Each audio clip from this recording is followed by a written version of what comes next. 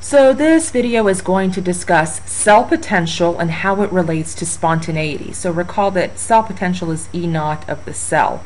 And if you want to review a video on how to calculate the E naught of a cell, there is a video on that because this is going to be one of the um, factors um, that you're going to insert into this uh, equation in order to solve um, to determine spontaneity. So we do need to know a little about little something about E naught of the cell.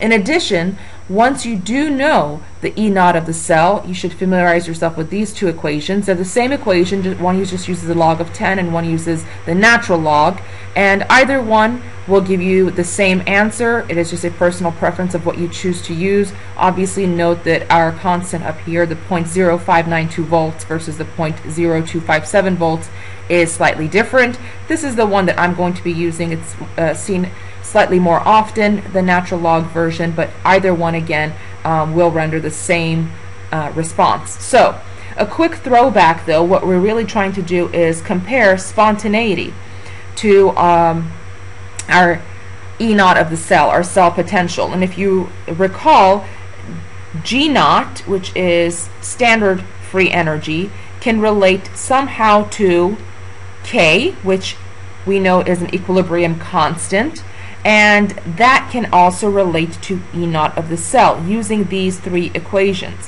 where delta G tells us something about K, and K can tell us something about E naught. So, very briefly, let's go through this table here before we solve our problem. So we have E naught of the cell, we have K, and we have delta G of the reaction, and then what equals uh, what equilibrium favors. So we know just from the basics the basics of equilibrium that a K of greater than 1 will favor products, a K of less than 1 will favor reactants, and a K that is equal to 1 will favor both reactants and products equally. The corresponding values for the E naught of the cell are that the K that is greater than 1 will always be positive, and a K of less than 1 will correspond to a negative E naught of the cell. And E naught of the cell will have opposite signs to delta G. So if you have a positive E naught of the cell, you will have a negative delta G. If you have a negative E naught of the cell, you will have a positive delta G. And again, we want to relate that to the middle column. So let's take a quick look here in terms of what our problem is. It is asking us to calculate the equilibrium constant K for the reaction that uses magnesium and copper. So we're given a hint that we should calculate the standard EMF of that. So we have actually calculated standard EMF of this particular cell before. There is a video on that where we calculated E naught of the cell which was E naught of the cathode minus E naught of the anode. And we determined that the cathode was indeed our copper and the anode was indeed our magnesium. And so we got a value of E naught that was E for copper minus E for the magnesium and that was 0.34 minus a negative 2.37 which gave us 2.71 volts. So if you want a detailed description of uh, or an explanation of that, there is a video on calculating standard cell EMF. But essentially we got these values out of the standard reduction potentials reference table. You can find that in any textbook or um, uh, appendices of a, of a chemistry book, and we just simply plugged in the negative three, uh, the positive 0.34 uh, value for copper, and we plugged in the negative 2.37 value for magnesium, and negative minus a negative was a positive, and so we added the two values together. We knew that the uh, copper had to be the reduced value and the uh, magnesium had to be the oxidized value and so that is how um, and we knew that of course from the cell potentials so that is how we attained the 2.71 volts by knowing that the copper was reduced, making it the cathode, the magnesium was oxidized, making it the anode, and then we just plugged in those values. Using the trend that the more positive the E naught value, that was the copper, the more likely it is to be reduced. So that's how we figured out what was oxidized and reduced by using that little trend. More positive the E naught, the more likely you are to be reduced. And for us in this example, that was copper. And if copper was reduced, magnesium was oxidized. So copper was the cathode, magnesium was the anode, and there you have it.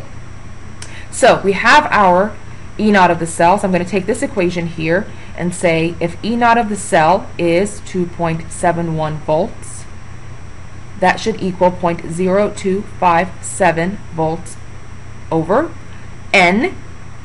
N is the number of electrons.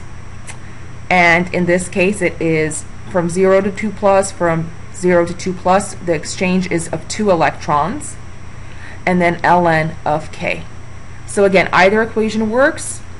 They both use n. You're just using a different value as a constant up here and a different logarithmic value.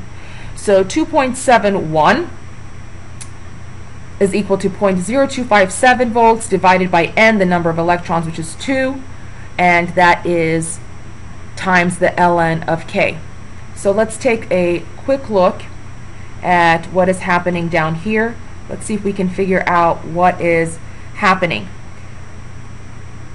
We have a positive E naught value for the cell, which means that our K value that we attain should definitely be greater than 1, which means that our products should be favored, and that will be a spontaneous reaction because the delta G will be negative. Spontaneous for the forward direction because products are favored.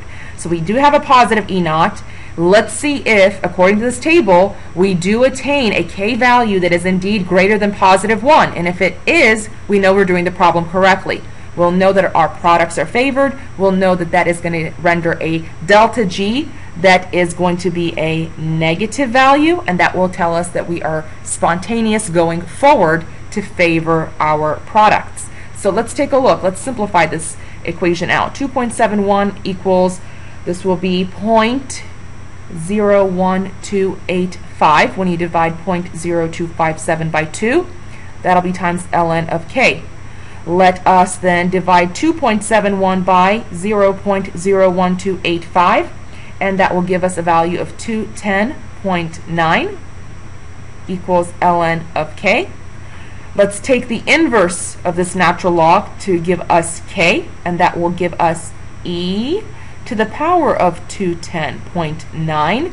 Plug that into your calculator and K should give us a whopping value of 3.9 times 10 to the 91st power. Wow, that is big.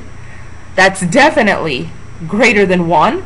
So we were correct that our K value was greater than 1. That would mean that the products are favored that would mean that our delta G value would be negative and we are favoring our products. So should we have been asked if this reaction would occur spontaneously, we would say yes in the forward direction because the delta G of the reaction sign would be negative. The K would be greater than 1, meaning our equilibrium favored the products. And of course, our K value that we were asked to calculate, the simplest answer of all, K is equal to 3.9 times 10 to the 90 first power. There are no units as k is a unitless value.